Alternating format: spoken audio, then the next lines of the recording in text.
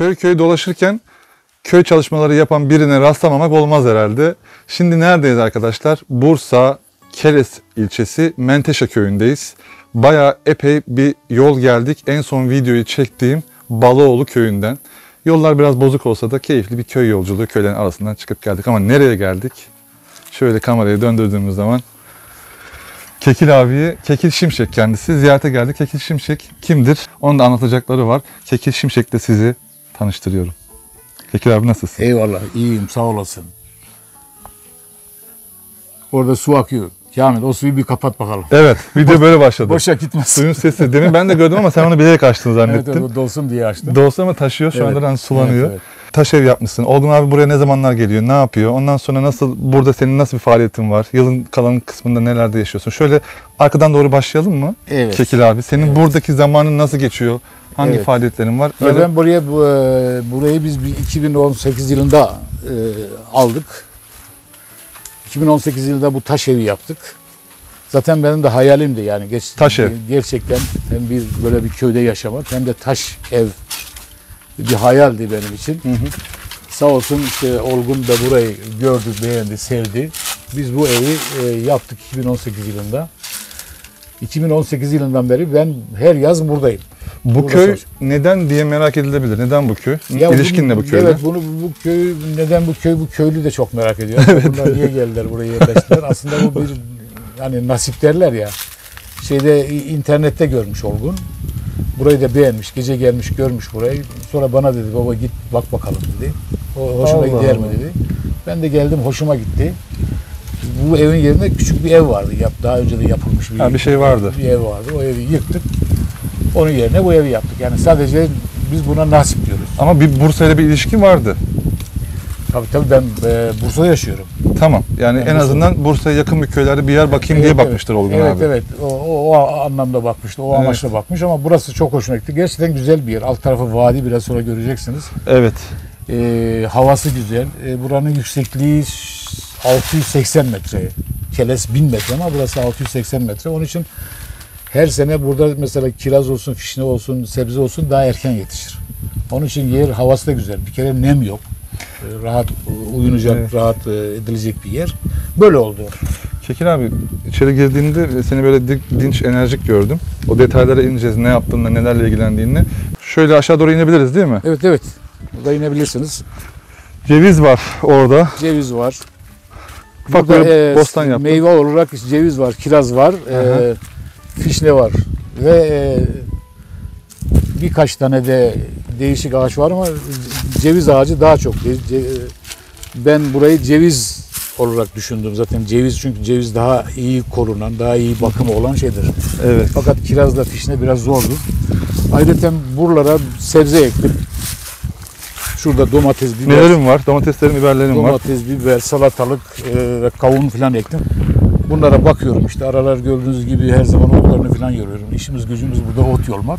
Kendi yiyeceğini kendin çıkartıyorsun ama değil mi? Hani sebzeni Yani, evet. kendin çıkartıyorsun. İşte böyle damlama Evet. çektim ben. Öyle sulama, salma suyla çok tehlikeli oluyor. Evet. Ve suyu da fazla kullanıyorsun aynı zamanda. Kaç dönüm arazi burası abi? Üç buçuk dönüm. Üç buçuk dönüm. Böyle biraz sanki dikdörtgen gibi. Evet evet. Aşağı doğru gidiyor. Şöyle gidiyor. İşte bu buraları ben çapalıyorum e, gördüğünüz gibi. Ot fazla çıkmasın diye. Orada abi kanyon var ya. Burası bu nasıl bir tarihe sahip? Mesela ne? Bu, Sen köy araştırmaları yapan çök- birisin. Çökme. Evet. Burası çökme. Yani binlerce yıl önce çök, çökmüş bir yer. Hı hı. En alt tarafta da sizin geçtiğiniz gibi koca su var. Oradan geldik biz değil mi? Çayı diyorlar. Evet. Hı hı. Oradan oradan geldiniz. Ee, bu e, kanyonda daha önce bu köyün ve bu çevre köylerin kullandığı bir de şey var.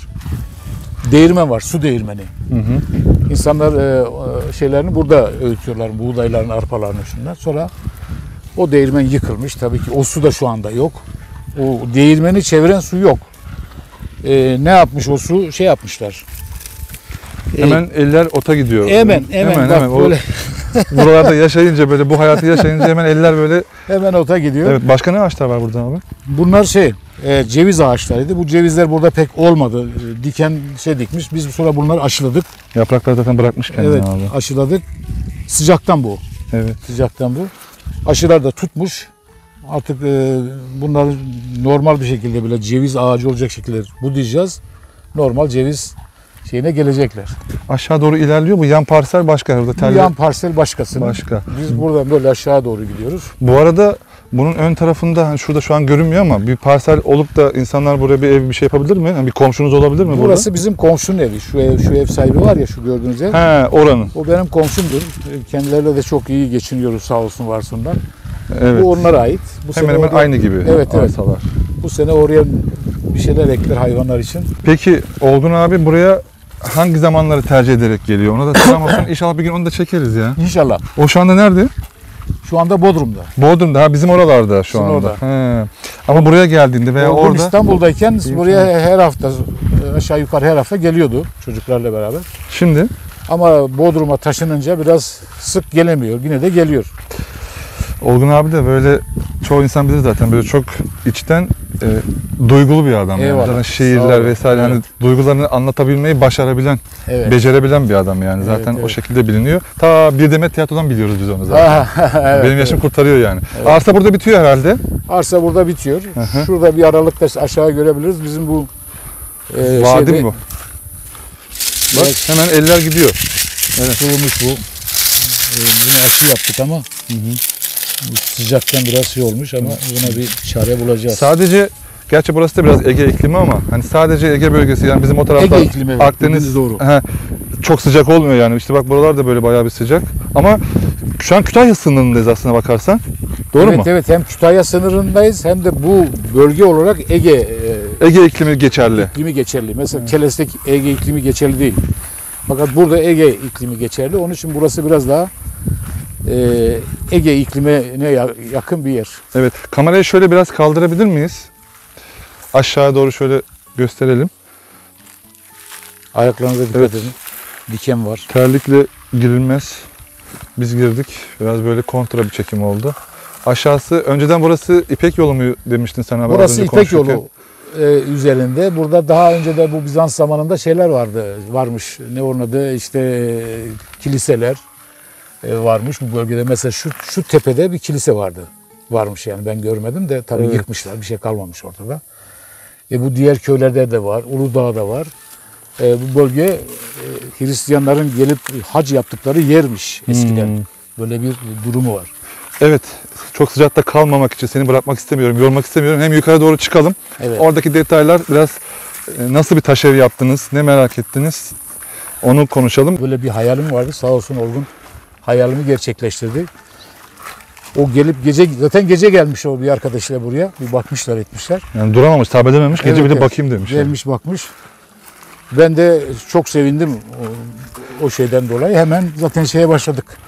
Konuşmalara, O, e, fiyat şey yapmaya. yapıya başladık yani. Evet. Peki dışarıdan çok göç alan bir köy mü burası? Yok. Dışarıdan çok insan var mı? Yok. Dışarıdan hiç kimse yok. Kaç haneli bir köy? Burası 60 haneli bir köy. Çoğu insan şeyde yaşıyor. Bursa'da. İnsanlar neyle geçiniyor mesela burada köydeki insanlar ne iş yapıyorlar? Eskiden hayvancılık. Bağ, şu karşı dağların, o şu karşı taraf, taraflar olduğu gibi bağmış. Üzüm bağı. Üzüm bağları değil Tabii mi? tabii üzüm bağları. Hayvancılık ve üzüm üzerinde. Fakat bu köylerin şehire göçleri var ya maalesef. Boşaltılmasından sonra Ondan sonra köylünün çoğu şehire Bursa merkezi.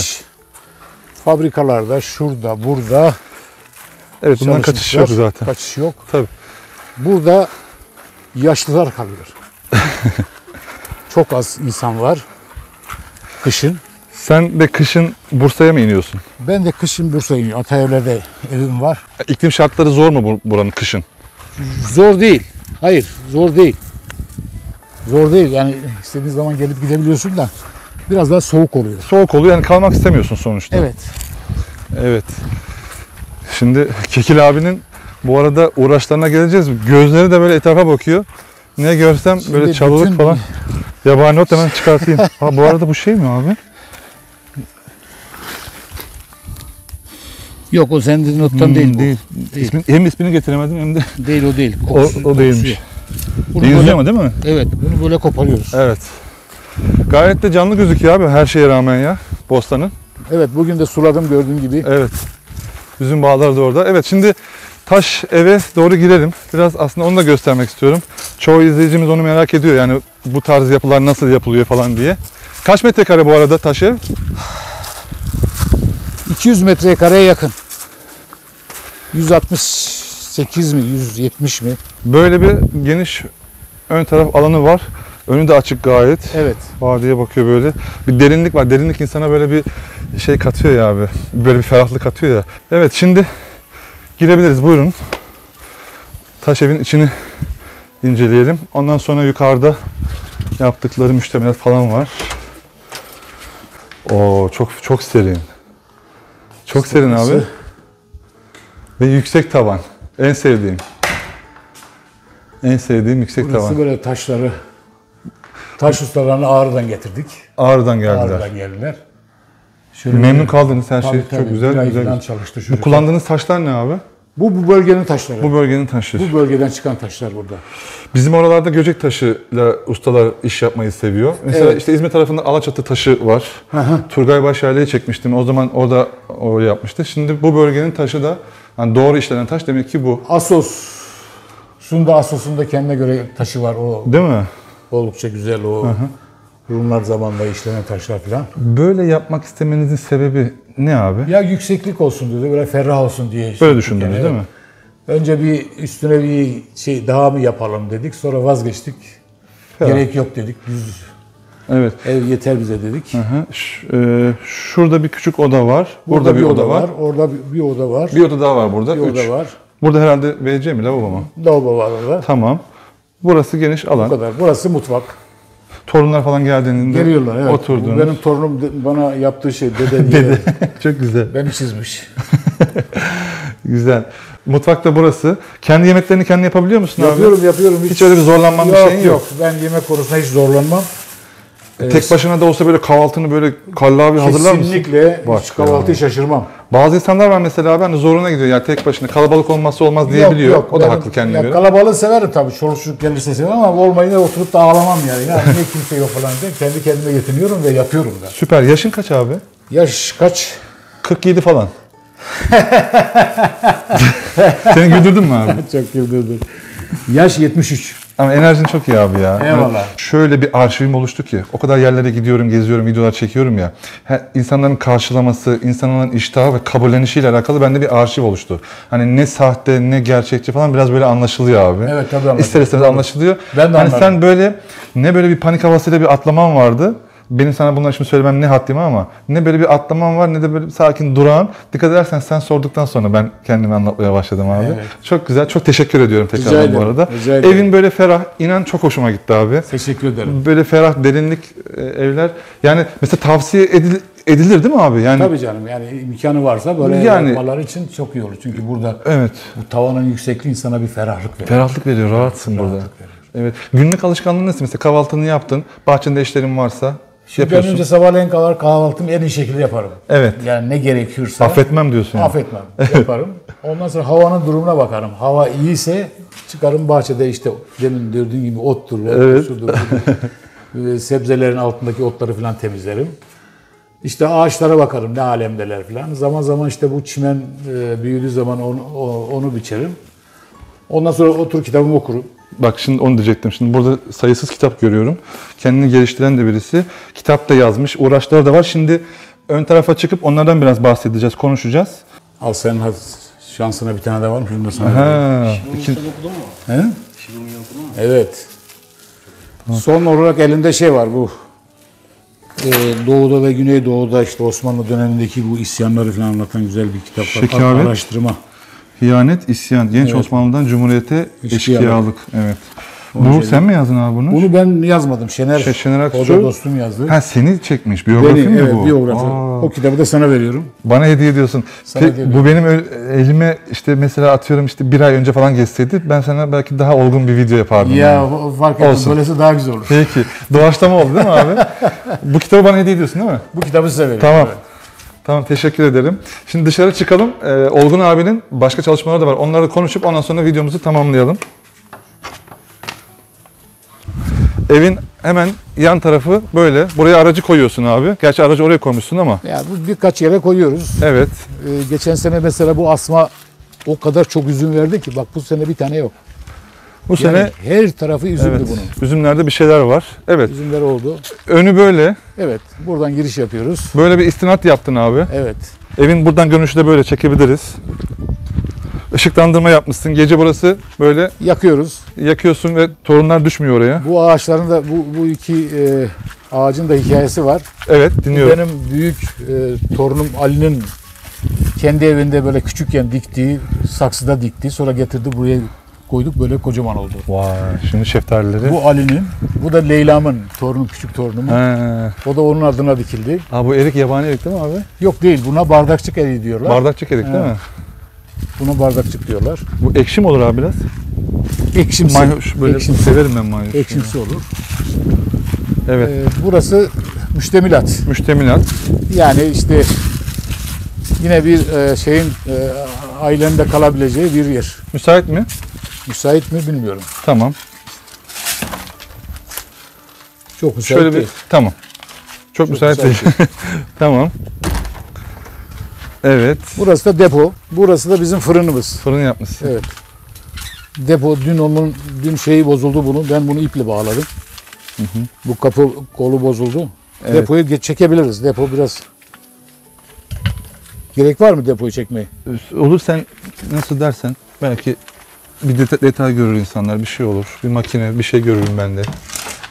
Şuradan açtık. Bu Senin çalışma alanın o çok serin burası da abi. burası depo. Malzemelerin var. Buraya odunları koyuyoruz. Hı hı. Bunlar benim çocuklarımın eskiden köylerde bunları bak bunu bana bir köyde bir vatandaş hediye etti. Evet. En az bu, bu 60 yıllık bir şey var bunda. Kendi torunları e, işte biniyorlar. Biniyorlardı. Bilyeli var. tarafı da şeyle kullanıyor, ayaklarıyla kullanıyor böyle. Evet, evet. Benim torunlar gelince bunların ikisini hemen alıyorlar, geziyorlar. Yani 60 yıl sonrasının çocukları 60 yıl öncesinin ür- ürünlerine, Evet, oyuncaklarına biniyor. Bu da affedersin eşeklere şey yapıyorlar ya. Evet. Semer. Hı hı. Semer aynası derler buna. Benim bir semerci arkadaşım vardı. O yaptı gönderdi bana. Kendisi de rahmetlik oldu. Allah rahmet eylesin diyelim. Evet. Öyle onun anısına kalıyor. Tamam. Burada ufak tefek ihtiyacın olunca sen görüyorsun zaten Tabii burada. tabii her Taş, şey var şeydir, Burada şey. ne? Odun motoru var, şu var, bu var. Her şey var. Semaverin yani. de var. Tamam. Hiçbir ihtiyaç Başkasına ihtiyaç duymuyorsun. yok. Aynen öyle. Bunu bir çiftlikte, bir köyde, bir köyünde görmesek olmaz arkadaşlar. Her yerde vardır çamaşır makinesinin içi. O fırını sen mi yaptın abi? Efendim? Fırını sen mi yaptın? Fırını yaptırdım. Ben usta, usta olarak değil değil mi? Fırını yaptırdım. Bu fırının hikayesi de benim yeğenim var Almanya'da. Demin bahsettik ya. Evet. O geldi buraya. Ya dayı dedi buraya bir fırın yap dedi. Lazım bir tane. Bak bunda da et yapıyorlar falan. Dedem de şu an Alzheimer oldu ama o da şey olmasaydı. O fırın yap deyince ben de Kocaman. onun isteğini kırmadım. Bu fırını güzelce bir usta getirdim ben yaptık. Şu arkadaki kavisi iyi vermiş abi. Evet e, gayet güzel oldu. Bu tencere de bana komşumdan hediye, yan komşumdan. Evet. E, Karabadi derlerdi çaybadi. evet, karabadi derlerdi. Evet. Burada da bir ufak bir şeyler var. Burada şeyler patates ektim buraya. Soğanlar O, var. o da soğan. Kışlık Aşağıda soğanımız. mısır. Onun önünde ne var? Orada kabak var, ve şey var, fasulye var, bir de mısır var. İyi. Alanı güzel kullanmışsın abi. Tasarımı güzel olmuş. Tam ortada. Evet evet. Buranın kalbi olarak dinlenme alanım var. Bunları da bu sene ektim. Bunlardan ne çıktı? Neydi bunların adı? Hangisi abi? A- şey, böğürtlen işte abi. Böğürtlen değişik bir yapısı, şekli. Benim kızım çok seviyor bunları. Onu da onun şeyine yaptık. Abi biraz sonra Olgun abi arar mıyız? Beni tanıştırır mısın onunla? Olgun şu anda Yunanistan'da. Yunanistan'da. O zaman Evet, görüşemeyiz. Evet, evet Yunanistan'da. O zaman görüşemeyiz. Daha gelmedi. Ama bir gün beni görüştürür müsün onunla? Ben sana telefonunu veririm. Belki vermek istemez, rahatsız olmasın. Ee, Ee, hani onu da ya burada, onunla böyle sohbet etmek isterim. Ya burada ya bizim orada. olur. Öyle bir şey sağlayabilirsek Olur olur. buradan da güzel Ben olur. ona senin telefonunu veririm. Benim onun telefonunu veririm sana. Sen ona mesaj atarsın. Kendini tanıtırsın. Çünkü Süper. ararsın açmaz. Tamam sen önceden bahsedersin benden olur mu? Evet. Tamam. Şimdi az önce videodan önce bir çalışmasının olduğunu söyledi. Benim gibi böyle köyleri gezen, köy merakı olan, eski evleri, eski yapıları e, resimlemeyi seven ve günümüze taşımayı böyle bir görev bilinciyle görev edinmiş Kekil abimiz böyle çalışmaları var. Şimdi sen anlatmanı rica ediyorum abi. Mustafa Kemal Paşa'nın 100. yılında 100 tarihi ev ve konak diye böyle bir şey çıkartmışsın. Şimdi bu, bu, bu çalışma benim son çalışmam. Jübile. Jübile. Bu Mustafa Kemal Paşa'nın 100. yılından dolayı bizden e, şey istediler. Aslında ben Mustafa Kemal Paşa'da 20 yıl dernekçilik yaptım. Bu 20 yılın 10 yılını Patikalar diye bir dergi çıkardım. Bu Evet. Patikalarla beraber Mustafa Kemal Paşa'nın bütün köy ve beldelerini dolaştım. Arkadaşlarımla birlikte. Şöyle 130 bine yakın fotoğraf çektik. 2000 sayfalık da iki ciltlik bir Mustafa Kemal Paşa belde köylerinde yaşam diye bir iki ciltlik bir eser çıkardık. Mustafa Kemal Paşa'nın köylerinde ne varsa hepsini yazdık. Yani keçi çobanlarını bile yazdık. He, ne anlattılarsa. Ne anlattı? Biz soruyorduk. Onlar ne anlattılarsa biz o e, sözlü tarih diyoruz biz ona. Hepsini yazdık. İbrahim Ersaraç var, e, karikatürist şu anda 92 yaşında. Onunla desteğiyle e, biz bu karikatür işlerini çıkardık. Bir de onunla beraber bir kitap çıkardık. Ayrıca karikatürleri, karikatüristleri tanıtan bir kitap çıkardık. Evet. E, bu çalışma son çalışma. Ondan sonra biz o dergiyi kapattık. E, ben de Mustafa Kemal Paşa'dan Bursa'ya gelmek zorunda kaldım. Derneği de başka arkadaşlara devrettik. Sonra geldik burada bir inzivaya çekildik. İnzivaya burada işte eşle, dostla, arkadaşlarla zaman zaman geliyorlar. Burada yaşıyorum. E, yalnızlık, her bazı insanlara zor gelir şey ama yalnızlık bana çok şey katıyor. Özellikle bu toprak insanı dönüştürüyor toprakla uğraşmak. Gerçekten insan onunla onunla bir uğraştığı zaman sanki onun gibi oluyor yani. Toprak gibi oluyorsun böyle. Her yönüyle o sağlığına düşüncen düşünce tarzına insanlara doğaya bakış tarzını değişiyor. Olumlu yönden değişiyor. Öyle olunca da ben de burada işte bu hayatı sürdürüyorum. Bir de bunu çok erken yaşta yapabilen, başarabilen insanların vay haline olumlu anlamda değil mi? Evet, Nasıl evet. bir akışta kesinlikle hayatını yaşar. kesinlikle yani Çünkü hayat hep gelişi güzel geliyor yani. Yani- Karşılaması daha or- Evet. orijinal olur yani. evet evet Şimdi e, evet burada var ya bakın şeyden önce videodan önce baktım buraya. Böyle çok ilgimi çeken evler de vardı. E, çok farklı zihniyetle yapılmış evler.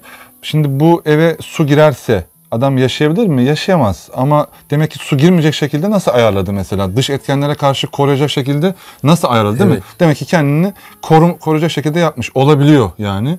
Enteresan ve ayakta duruyor. Şimdi sana böyle bir bir tane rastgele içinden açacağım bakalım anıların e, hani ya şu köyde bu evi çekerken şöyle oldu diye bir şey çıkacak mı bakalım ortaya ondan sonra bitirelim. onu ben söyleyeyim Öyle mi? Tamam. Ee, Demireli diye bir köy var Demireli Tamam. Demireli Demireli Aa, hemen mi çıktı abi açınca? Demirdere'ymiş abi. Dem- Demireli olacak Demirdere. bu Heh, D'de. Evet. Şu gösterelim. Şöyle gösterelim. Şu. Evet. Nedir bunun Şu hikayesi? konak ben Demireli köyüne gittiğim zaman bu konak e, ayaktaydı. Ve bu konak e, içi e, Çinilerle doluydu. Yani o devrin Bursa kadısı, Bursa kadısı bu evde kalıyormuş. Bursa'dan geliyor bu evde hafta sonları kalıyor ve kendisi yapmış. Bakın bir sürü odası şuyu buyu var. Her tarafı olduk, içi oldukça güzeldi. Hepsi ahşap ama. Sen çektiğinde kaç yıllıktır abi o? Bu konak 1800'lü yıllarda yapılmış. Hadi canım Tabii ya. tabii. 1800'lü yıllarda yapılmış. Çok eski bir konak ve bölgenin ileri gelenlerin falan gelip kaldığı bir yer. Kal- Kaldığı bir konak. Evet. Sonra yıkıldı bu. Yıkıldı değil mi senden sonra? Tabii ortada bir şey yok şu anda. Şimdi böyle görüyoruz ya şehirden köylere, kırsallara göçen insanlar, aileler de eski köy evlerini tamirat yapanlar da oluyor. Güzelleştirenler de oluyor Helal mesela. onlara. Ayağa kaldıranlar da oluyor. Evet. Böyle hikayelere de tanık oluyoruz. Peki. Teşekkür ediyorum. Rica Ağırladın bizi. Güzel karşıladın. Çok memnun oldum. Rica ederim. Ne Konuştun. Ee, ondan sonra anlattın. ederim. Evini içine aldın. Ee, varsa soracağınız, merak ettiğiniz şeyler yorumların altına yazabilirsiniz. Taş evli olabilir. Senin sosyal medya hesabın var mı? Var. Hani belki sana ulaşmak isteyen Kekil olabilir. Şimşek. Kekil Şimşek. Kekil Şimşek. İsmin nereden geliyor bu arada? Kardeş demek benim ismim. Kekil, Anlamı- kardeş demek. Kardeş demek. He. Ee, Kürtçe'de. Ama e, kek e, köklüğünden. Kek baba demek aynı zamanda. Hmm. Yol gösterici demek. Bir sürü Kek, A- kelime Kek, anlamıyla yol gösterici. Kek değil. Bizim bildiğimiz kek değil. kek. Kek. Kürtçeyi bilmeyince öyle oluyor Evet, tabii. e, Kek. özür dilerim abi. birçok anlamı var ama ben bunun içinde en güzel kardeş şeyini Evet. Kekimin, Bremen, Bra demek kardeş demek. Kekimin, Kek de kardeş demektir. İngilizce'de de öyle bro diyorlar ya. Yani Bremen, Brother. Peki abi teşekkür ederim. Ağzına sağlık. Teşekkür ederim. İzlediğiniz için teşekkür ediyorum. Bir sonraki videoda görüşmek üzere. Kendinize iyi bakın.